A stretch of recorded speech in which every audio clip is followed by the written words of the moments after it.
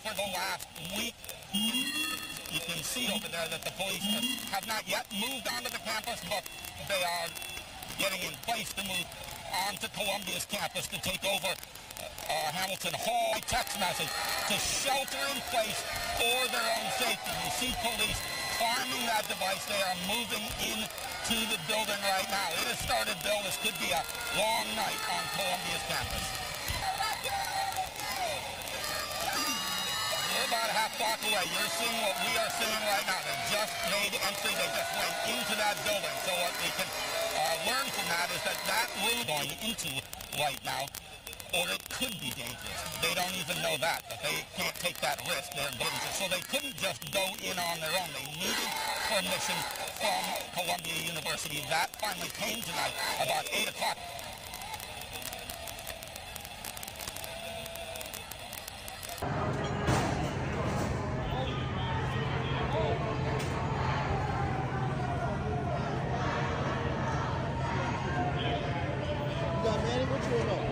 Clear the chairs while these guys go help you get through.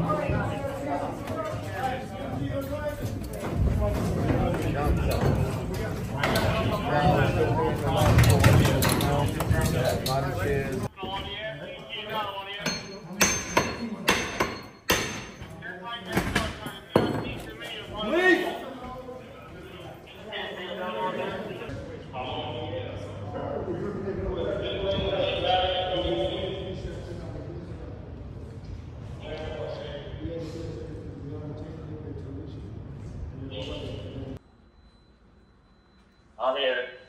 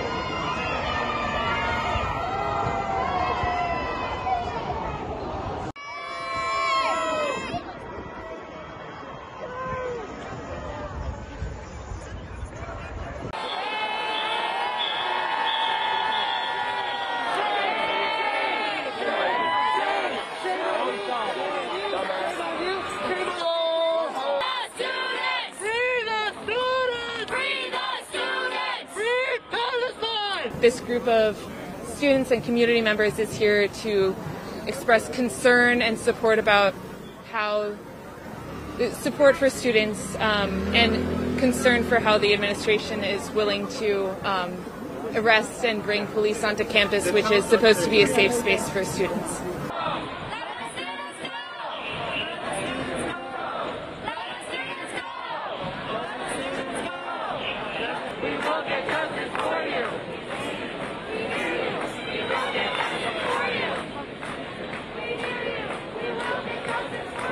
I'm a Jewish student, so um, I feel like it's especially important for me to express my concern about Palestinian lives and suffering um, because I unequivocally uh, stand against the idea that Jewish people cannot be um, pro Palestine. I'm, I think that Zionism and uh, like anti anti Zionism and anti Semitism are not the same thing.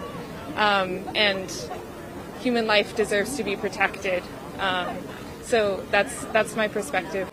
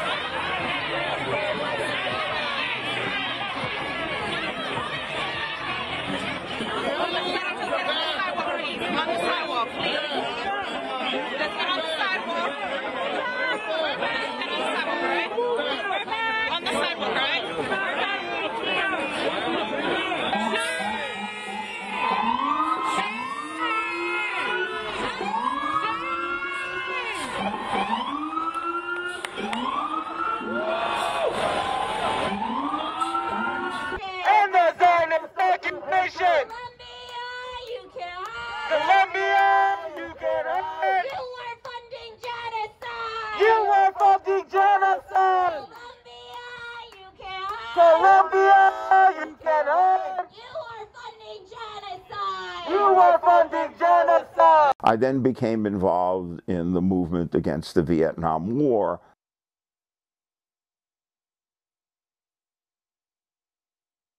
The Columbia form took the form of an occupation of five buildings that ended up lasting for seven days before the police were brought in to clear it out.